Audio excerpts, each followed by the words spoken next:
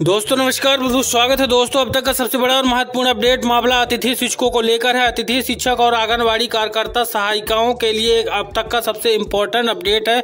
मध्य प्रदेश के सरकारी स्कूलों पर अतिथि शिक्षक लंबे समय से काम करते हैं। इनका मानदेय बहुत कम होता है, मजदूरी के बराबर इनको मिलता है, लेकिन वह भी इनको समय से नहीं मिल पाता है। इस बार तो हद ही हो गई, प्रदेश में नई सरकार है, नए मुख्यमंत्री हैं, लेकिन उनके द्वारा अतिथि शिक्षकों के लिए चार से पाँच माह का बजट ही जारी नहीं किया गया है। अतिथि शिक्षकों के मानदेय वेतन को लेकर यह जो अपडेट आपको दिखाएँगे, ये अब तक का सबसे बड़ा और महत्वपूर्ण अपडेट है, क्योंकि मध्य प्रदेश में फरवरी के इस महीने पर मध्य प्रदेश में बजट सत्र शुरू हो रहा है और इस बजट सत्र के पहले बजट का रोना अतिथि शिक्षकों के पास है। चलिए कंप्लीट जानकारी आपको यहाँ पर यहाँ पर आपको कंप्लीट जानकारी बताएँगे। अब तक का सबसे इम्पोर्टेंट महत्वपूर्ण अपडेट है दैनिक भास्कर के अखबार में छपी यह खबर। आपको चौंका देगी कि मध्य प्रदेश में इस तरह से हाल बेहाल है। नई सरकार है। सरकार के नुमाइंदे, जो मंत्री विधायक है, उनका वेतन एक तारीख को आ जाता है। और पेंशन आ जाती है, लेकिन जो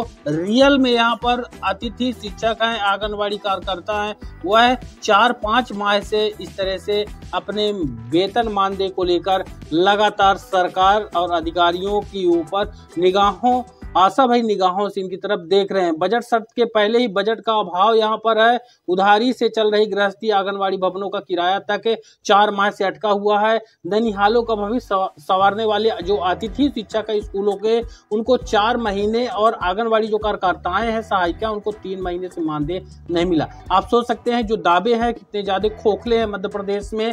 कार्यकर्ताओं ने कहा है कि जिम्मेदार स्पष्ट जवाब देने को तैयार नहीं है। जुलाई में नवनियुक्त शिक्षकों को एक बार भी जारी नहीं हुआ। यानी जुलाई 2023 में जो नवनियुक्त शिक्षक है, उनको एक बार भी नहीं मिला यहाँ पर। और जो अतिथि शिक्षक है, उनको कहीं तो ऐसा है कि नियुक्ति हो गई जुलाई से अतिथि शिक्षकों की, और अभी तक जनवरी निकल गया, फरवरी शुरू हो गया, और यहाँ पर उनको मानदेय नहीं मिला। पूरा अपडेट आपको बताएँगे। आपसे निवेदन बस इतना रहेगा। इसको शेयर और वीडियो को लाइक और चैनल सब्सक्राइब ज़रूर करेगा।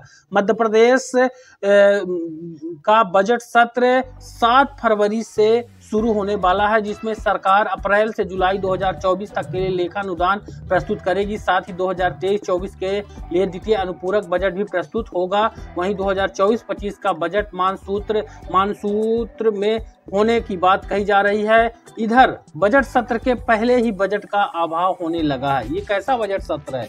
बजट ही नहीं है तो बजट सत्र किस चीज़ का एक बड़ा सवाल बनता है।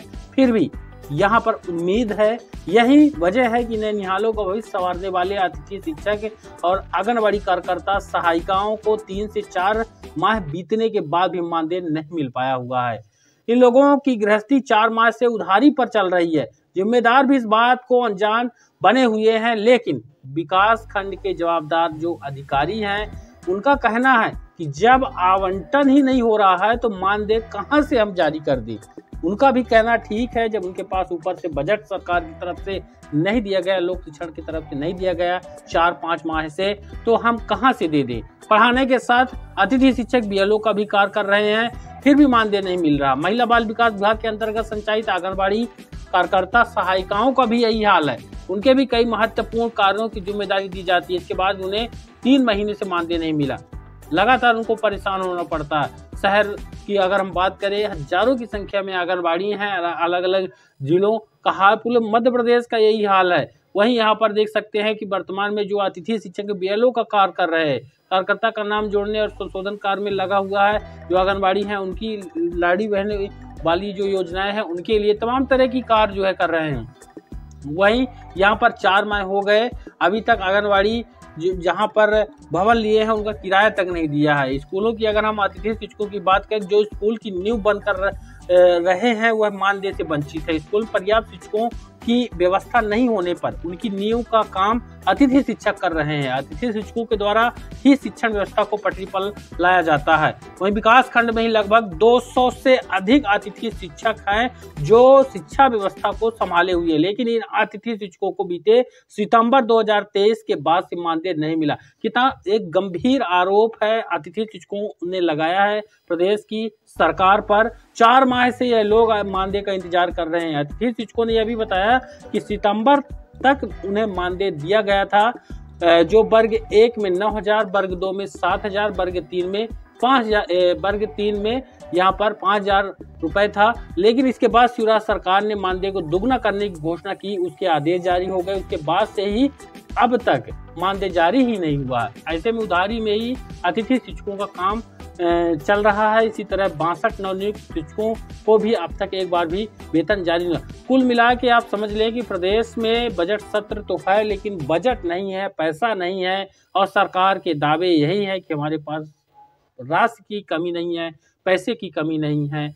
तो ये आखिर इतना उधार लेते हैं, एक बड़ा सवाल है कि ये जाता कहाँ है, किसकी जेब में जाता है? तो यहाँ पर आप सोच सकते हैं कितना बड़ा अपडेट है।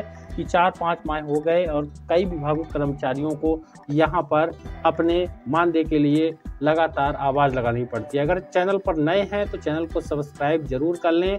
वीडियो को ज़्यादा ज़्यादा लाइक और शेयर कर दें। मिलेंगे अगले वीडियो पर लेटेस्ट अपडेट के साथ।